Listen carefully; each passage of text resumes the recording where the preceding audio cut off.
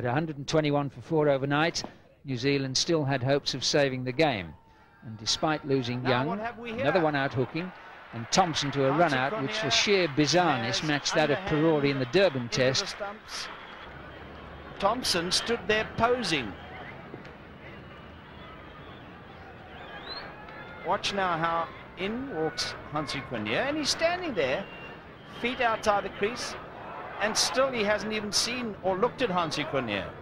Hansie Cronje looking a little undecided as to whether he's actually done the right thing there. But of course he's done the right thing. That ball might have rolled back to the keeper. He takes the bails off.